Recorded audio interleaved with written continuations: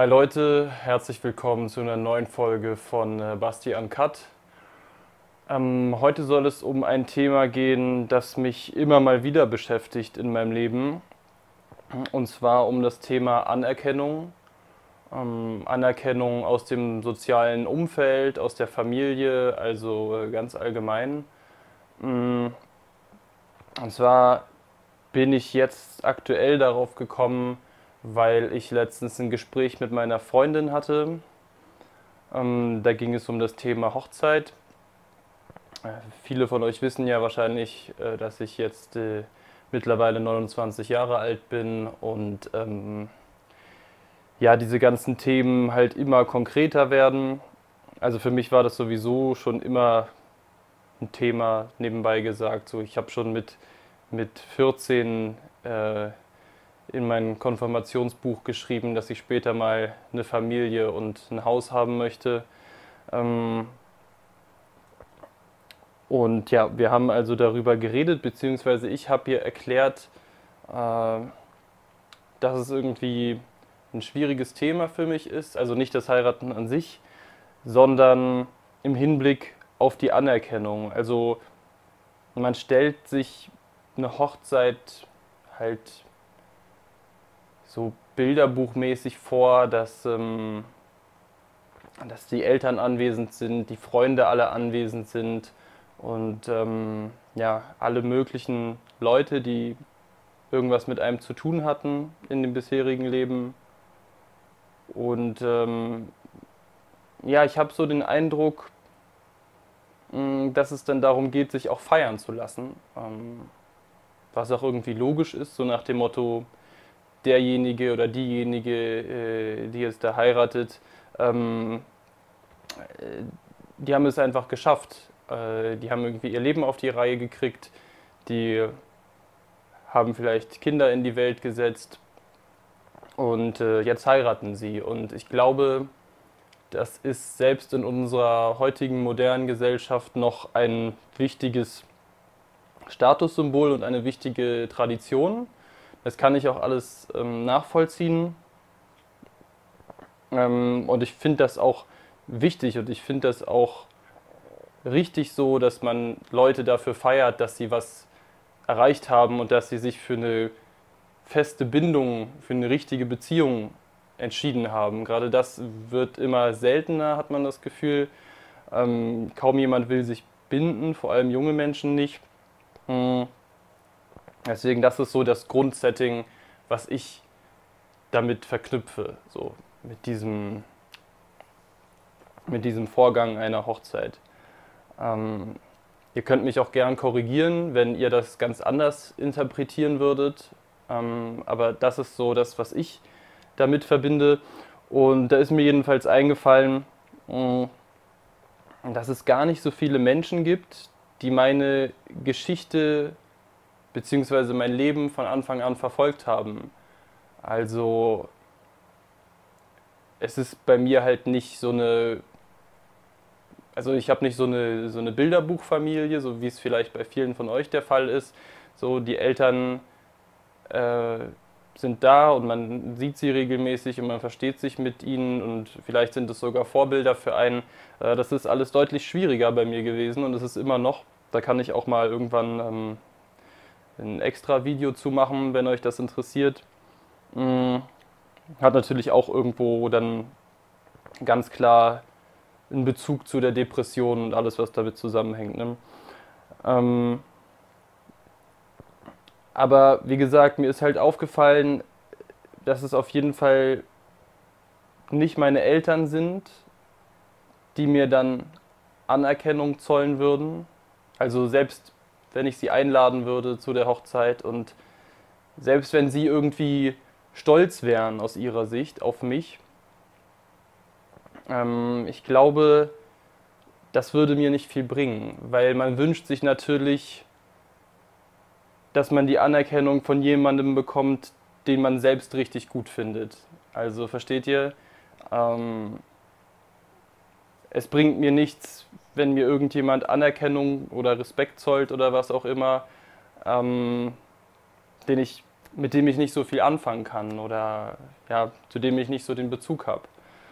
Und ja, das ist mir dann klar geworden äh, in diesem Zusammenhang, äh, dass es niemanden gibt, der von Tag 1 bis heute an meiner Seite war und ist und das Ganze so in einem Gesamtkontext setzen kann. So, der dann sagen kann, wow, Basti, krass, ich habe Respekt vor der Leistung, du warst seit 2012 extrem krank und hattest da Hürden, familiär und dann ständig Beziehungen, die in die Brüche gegangen sind. Und jetzt stehst du hier vor dem Altar und es sieht so aus, als würde dein Leben jetzt irgendwie, als wäre dein Leben geregelt und äh, als wärst du jetzt angekommen. So, dieses Ankommen ist sowieso so ein ganz großes Thema in meinem Leben.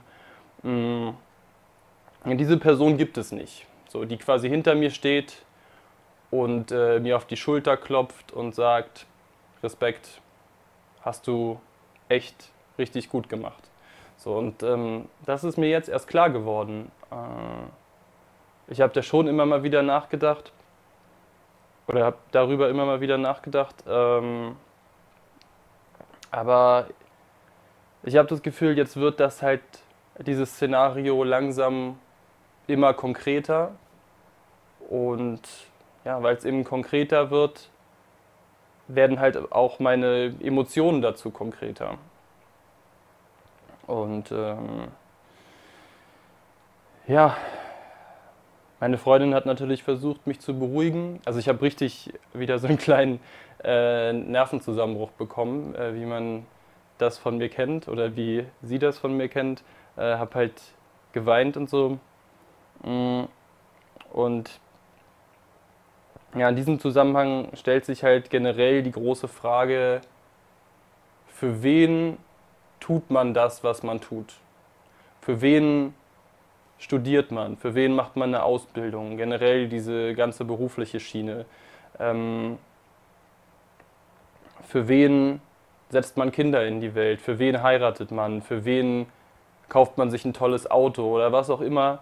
Ähm, macht man das für sich, um selbst irgendwie glücklich zu werden oder zufrieden zu werden oder in seinem Leben ein Stück weiterzukommen oder macht man das für andere? Also ich spreche gar nicht mal von, von Angeberei. So, so oder vom Protzen oder so, darum geht es mir nicht, da ging es mir noch nie so wirklich drum. Mhm.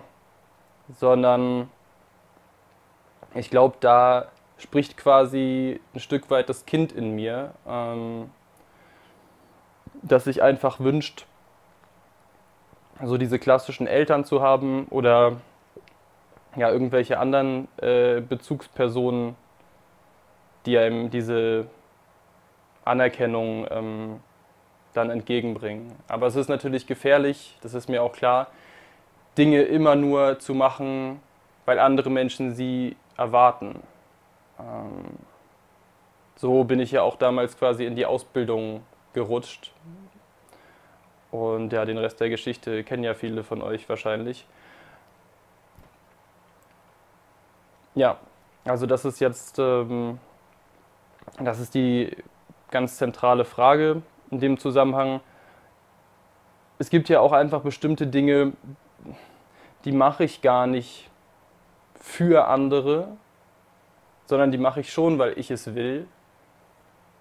Aber äh, ich würde mir trotzdem wünschen, dass Leute aus meinem Umfeld dann halt das irgendwie anerkennen und stolz auf mich sind. So, das ähm, war schon immer ein wichtiger Antrieb für mich. Also Lob, Anerkennung, Respekt und sowas. Und ähm, ja, ich merke auch, wenn das ausbleibt und äh, wenn ich das Gefühl habe, niemand interessiert sich für das, was ich da mache oder niemand interessiert sich für meine Erfolge, dann lässt meine Motivation auch ganz schnell wieder nach. Also das ist quasi wie so ein Hund, der irgendwie da sein Stöckchen immer wieder zurückbringt zu seinem Herrchen und ähm, ja, dann irgendwie eine Belohnung dafür erwartet oder so. Ich glaube, so, so kann man das sehen, wenn man das so auf die, auf die Basis runterbricht. Und ja, jetzt wird es darum gehen, ähm, dass ich lerne, damit umzugehen und dass ich mehr einfach für mich selbst tue. Vielleicht auch ein Stück weit für meine Partnerin, wie auch immer, oder für Freunde. Aber ähm, ich muss jetzt halt lernen, dass es völlig utopisch ist zu erwarten, dass da jemand ist, der einen schon ewig beobachtet oder schon ewig dabei ist. Äh, weil das ist nun mal, das ist nun mal super unrealistisch. Also es gibt, es gibt halt heile Familien mit Eltern und so und ich gönne das auch allen Menschen, die sowas haben und für die das dann ein super ergreifendes Gefühl ist, wenn ihre Eltern bei der Hochzeit dabei sind oder so. Ich gönne das äh, allen Eltern und ich gönne das auch äh, allen Töchtern und Söhnen, versteht mich nicht falsch. Ähm, aber ich habe das halt nicht in der Form und ähm, ja, ich muss jetzt einfach lernen, damit umzugehen. Also die Person in meinem Umzug, äh, in meinem Umfeld, die, ähm, die noch am ehesten so ein Gefühl in mir auslösen könnte, wäre tatsächlich meine Therapeutin. Obwohl die ja eigentlich gar nicht so diese persönliche Ebene, ähm, ja, wie soll man sagen, diese persönliche Ebene zu mir hat oder diese persönliche Verbindung äh, auch nicht haben darf, weil das könnte, ähm, könnte schädlich sein für das ähm, Therapeuten-Patienten-Verhältnis. Aber da hätte ich noch am ehesten das Gefühl, dass sie, dass sie dann, dass sie zum Beispiel stolz auf mich wäre und ich, ähm, ich davon profitieren würde emotional. Also ich hoffe, ihr versteht das, ist jetzt ein bisschen kompliziert äh, formuliert vielleicht, aber es gab solche Momente auch schon tatsächlich ähm, in der Therapie zum Beispiel so. Äh, annähernd zumindest, so dass sie gesagt hat, äh, sie, sie ist stolz darauf, wie ich mich entwickelt habe, so als ich dann halt so, ein, so eine richtig stabile, gute Phase hatte. Ähm, da war sie, glaube ich, echt ein Stück stolz auf mich und äh, hat mich gelobt. Und da habe ich gemerkt, äh, dass das was mit mir macht im positiven Sinne. Aber gut, lange Rede, kurzer Sinn. Mm.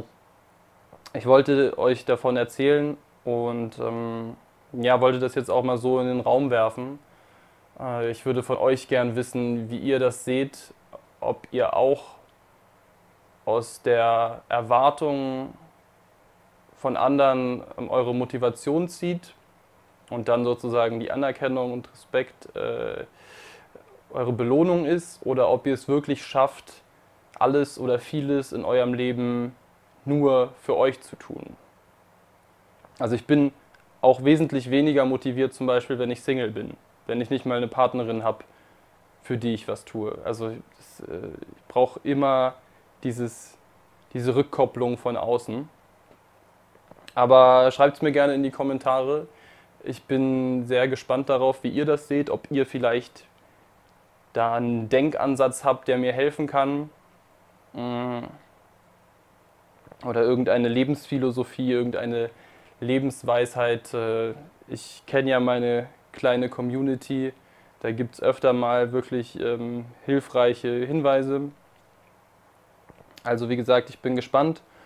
Und äh, ja, jetzt in der nächsten Zeit werden hoffentlich wieder regelmäßig Videos kommen. Mm, es sind auf jeden Fall schon Videos geplant, also Themen, die ich mir notiert habe und ähm, über die ich gerade nachdenke, überlege, wie ich die am besten ähm, umsetze. Und es wird auf jeden Fall eine ziemlich große Neuigkeit geben. Die erfahrt ihr höchstwahrscheinlich in der nächsten Folge, nächste Woche. Und äh, ja, an dieser Neuigkeit äh, werden dann auch ähm, werden dann auch weitere Dinge noch geknüpft sein. Aber lasst euch einfach überraschen. Ich wünsche euch erstmal eine gute Woche und wir sehen uns dann beim nächsten Mal. Ciao.